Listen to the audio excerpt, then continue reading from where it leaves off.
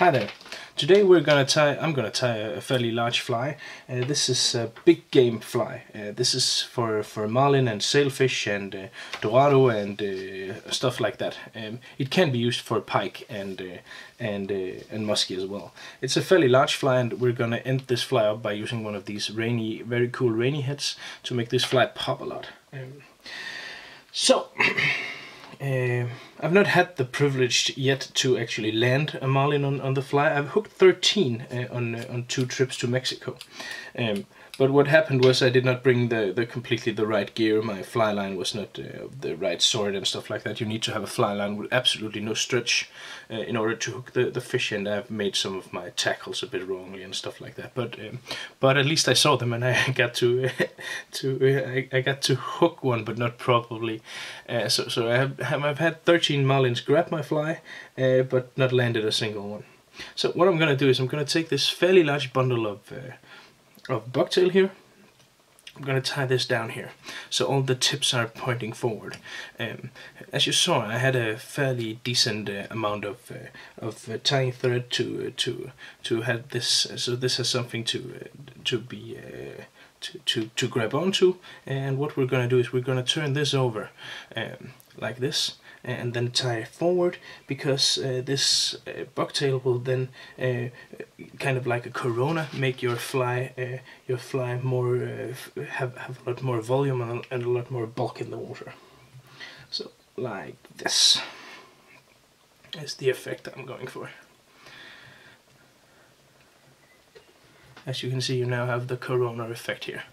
This looks uh, absolutely exactly how I want it to be then we're of course going to use some uh, some flash and uh, for this fly uh, I find that uh, in my experience but also what I've talked to the captains uh, where I was fishing about is that blue is one of the really good colors. And as you can see this this uh, Flashabou holographic magnum in in teal is is ideal because it's very long so you can make some some very large flies fairly easy without without this actually weighing too much in the water. So I'm taking a bundle of this and then I'm gonna pull on the feathers here to make sure not on the feathers but of the strands of flesh to make sure that it's not completely uniform in length. And then I'm gonna tie this down. So it's gonna come all the way around. All the way around my tube here. The reason why I'm tying on a tube is that tube flies gives you a lot of advantages Tube flies is uh, is nice because when tying on tubes you can uh, you can you can attach exactly the the hook set the hook mount you you want. Um, and the tube ensures that you can have your your hook uh, moved a bit further uh, further back in uh, into into the fly into the wing so you have the hook exactly where where the fish probably will grab it. Like this as you can see I've, I've secured my, my flash material here uh, and then I'm going to take this, I'm going to turn this uh, backwards as well like so. So I now have the flesh material tied in doubly, which will make the fly more strong, but it will also uh, ensure that I've not cut anything off this fly so far. As you can see, it's nice, nice and evenly distributed all the way, or almost all the way around. To add some more bulk and some more volume, I'm gonna take some super hair, supreme hair, sorry. super hair is, is another product. Some supreme hair. Um, cutting a nice bundle of this. Also again, gonna make sure this is not completely, completely the same length all the way around. Gonna a bit further up the tube here. Make sure I have some uh, some some some tying thread to to support this. Gonna make sure that this is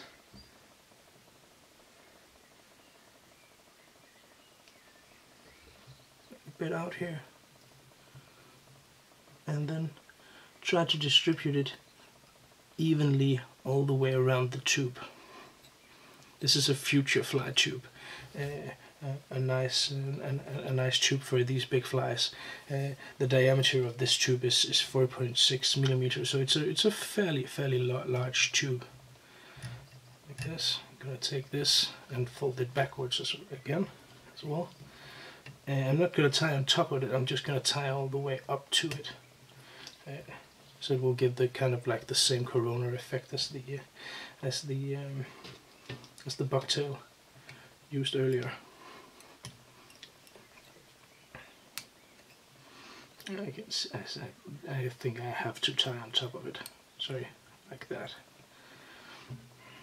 So now we have a mix of the super hair, the Flashabou, and uh, the bucktail, and uh, this fly is starting to uh, to get into shape. What we want to do now is we're going to take some saddle feathers.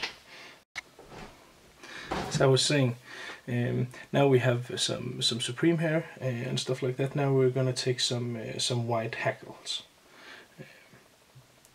I'm going to tie some of these in right about here. Again, I want this fly to be symmetric on all sides, which will make it uh, fish better and and uh, and fish no matter how it lands. I'm just going to tie some of these white saddle feathers here. So they're going to go out in every every direction. Uh, they add a lot, lot of noise and a lot of life a lot of vitality so make sure to add some of these.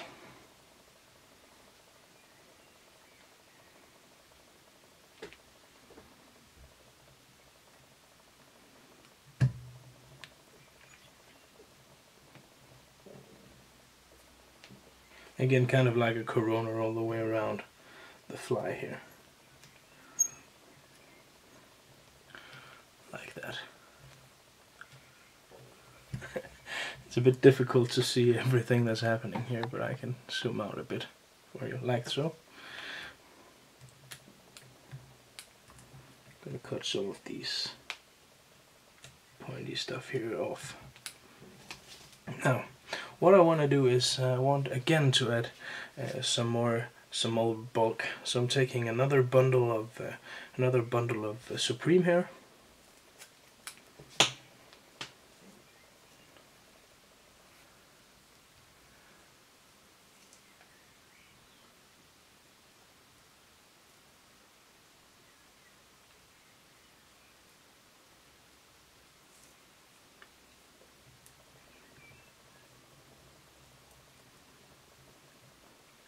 Again, trying to distribute it evenly all the way around. Tie it down, like so.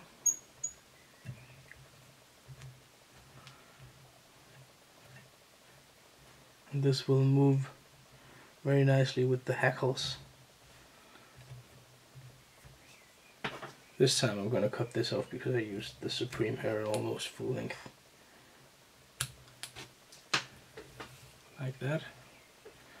Gonna take another bundle of um, another bundle of uh, holographic Flashabou. Again, pulling it out so it's it's uneven in length. Fish for billfish on the fly is uh, well, is something I think everyone should try at least once, but it's well, it's difficult. It's yeah. I'm I'm sorry that it. I, I, I'm a bit unhappy that it did. I, I, I, did not succeed, but well, at least I saw these magnificent, magnificent creatures, and and I saw them grab my fly, and that was well, just uh, uh, almost out of worldly experience. Uh, they are so majestic, so beautiful, and uh, well, they truly are are the incan incarnation, I think, of of the ocean. Uh, so, just to see them uh, was was a huge, huge, huge thing for me, and. Um, and and these fish I could I could never I mean I could never I could never kill a marlin I think. They are just too grand too spectacular too too beautiful but well, I would like to have uh, well, touched one at least. But I saw them and, uh, they saw me and that was uh, that was a, a, very very rewarding experience. So uh, that was uh, the next the next stage of this fly what we need to do now is uh, we need actually now to uh, to add uh, um, something that can give uh, some contrast and this is uh, this is some uh, some some lateral scales in in in the color opal. Mirror opal. Very vibrant and and powerful powerful color. Just gonna add some strands of these to mimic the the sidelines of of any any bait fish this is probably gonna be an imitation. If it should be an if this is an imitation of anything, it's an imitation of a of a small uh, of a small bonito, something like that, which is uh, what marlins and uh, marlins and uh, and sailfish uh, normally go for, like this. Looks fairly nice. So. This fly is also fairly light, so it's it's, it's relatively easy to cast while being while being uh, really really big fly. So what I'm gonna do now is I'm gonna add some of these uh, nice and blue saddle feathers here, uh, again to to give even more even more life to the fly, but also to again to to to imitate the uh, the backs of uh, of the of the, the the small tunas.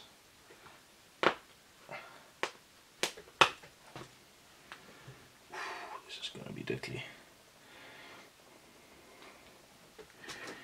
If you can get some saddle, feathers, uh, uh, uh, get some that is as long as you can get them for, for flies like this. Uh, um, that's uh, that's that's what you should you should do. Get some get some long ones because this is a fairly large fly, and in this size, as I said, it can it can also work for a pike.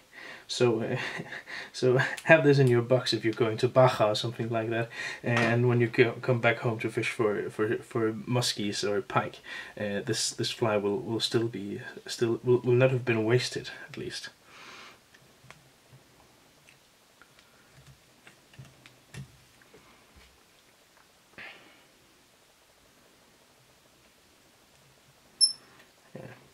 Takes a bit of time to to place these feathers uh, correctly, but well, it's it's worth it.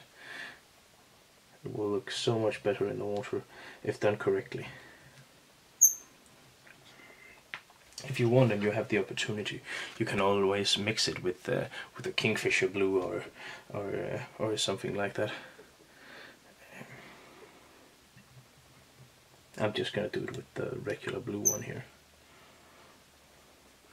as I said before, it's important when you when you fish for a marlin to have the right hook up, uh, the, the right hook set and stuff like that. And ordinarily, what you want to do is you want to have a, a, piece of uh, piece of uh, a piece of uh, titanium wire uh, that is uh, that is um, which you, you take uh, the first hook uh, and then combine it with with a second hook that is that is angled to a, to a very specific angle in order for you to to to maximize your hooking percentage.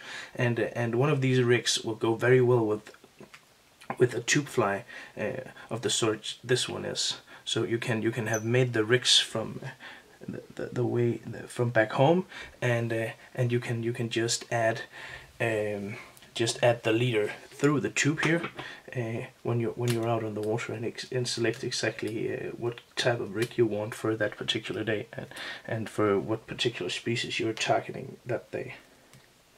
And make sure that your fly line is uh, is a Rio or a Scientific Anglers fly line uh, made for the purpose because it needs to be uh, non-stretch uh, in order to in order to to really grab onto the to to uh, to to uh, to fasten to, to secure to to hook the, the the the very very powerful and very very bony um, mouth of uh, of the billfish. There you have it. What we're gonna do here uh, uh, as the last part of this fly, in order to cover everything nice, uh, cover everything nicely up and and add the final touch, is I'm gonna take a marabou hackle here in white Again, this will give a little bit of contrast to the rest of the fly. I'm sorry if my if my uh, if my bobbin is uh, is a bit squeaky. Like so.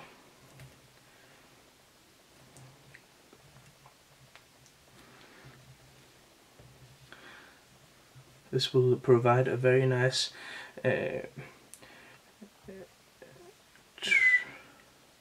transcendence from from the fly to uh, to the uh, to the head.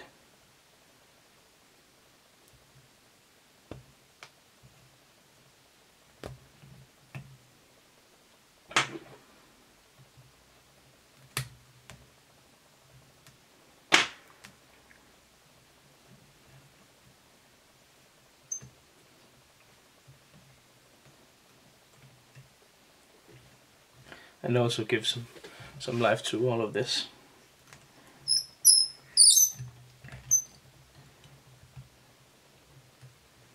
Then I'm gonna make a whip finish here.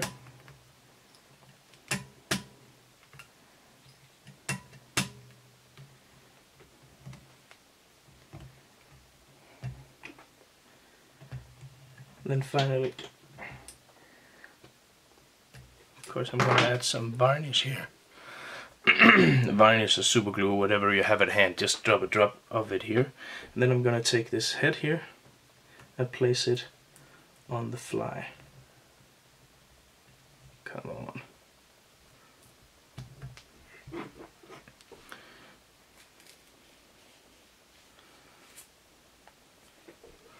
This wasn't uh, uh, big enough yet, so I just widened the hole a bit with uh, with my my scissor. And as you can see, there you have it. A very nice, fairly easy, very light, uh, big game fly and you can of course cut the tube off at the length you want. You can even uh, change the head so if let's say you do not want a, a floating fly you can uh, you can always just switch it to uh, to uh, maybe you want instead you want uh, something like this uh, on your fly. I can demonstrate it. Say you wanted something like this a big head for the fly and of course you attach a, a big eye there something like that. You can do all oh This messed up the tube a bit. Sorry about that. That's nothing to be concerned about, something like that. Well, there you go. There you have it. A big game fly that uh, uh, fishes very, very well. Thank you for tuning in.